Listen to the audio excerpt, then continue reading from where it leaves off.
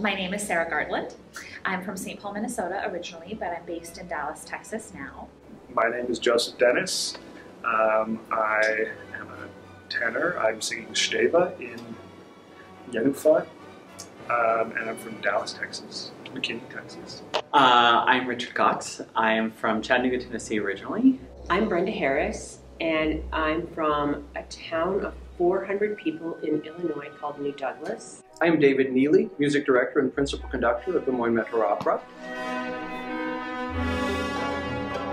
Um, she's the stepmother of Jenufa and has probably raised her since she was a little girl. And she loves her so much and she wants to keep her from making the same life errors that she made. She's in love with Steva, who runs the mill, and his half brother Laca is in love with Jenufa. So we have a love triangle. That's usually typical. This is one of my favorite roles that I've ever gotten to do. Um, I really love him, and I think uh, what we see, we see this really good man who has allowed love to get the best of him. Steva is um, is a very important role in that he in my opinion, sort of causes all the problems. This is a very special project. Everyone's working very hard, learning their Czech pronunciation and diction and, uh, and the meaning of everything they're saying. Uh, we're doing some folk dancing across the hall right now. Uh, it's an enormously challenging work for everyone, including the orchestra, but it is just incredibly exciting. And it's great to be part of a team that's just in the cast that's so dedicated to making this something special. I think the music is beautiful. I mean, I think it has just heartbreakingly beautiful music often and interesting.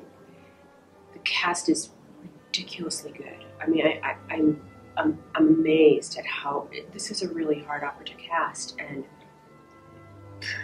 has done a fantastic job. I'm always fascinated when people think that Janacek is this modern composer. We have to remember that this opera premiered in January of 1904. Madame Butterfly premiered in La Scala three weeks later than Jenufa. So, I mean, now granted, La Scala and Brno are two different things, but it's, it's, it, it's its own romantic sort of harm, harmonic language that I think is so interesting and really gets under your skin. And it's a different way of orchestration that I'd ever been exposed to. I think it'll be a, a unique experience I'm looking forward to. What I'm so excited about and what I didn't realize is the proximity that we are in this theater to the audience, which is phenomenal to me. That it's really going, we're going to experience the energy of what they're feeling so much closer than what you do at the Met. It's exciting to see something you've never seen before. You know, it's easier to see a Bohème or um, Traviata or something, but uh, Jenufa is going to be very, very unique. So I hope people will take the opportunity.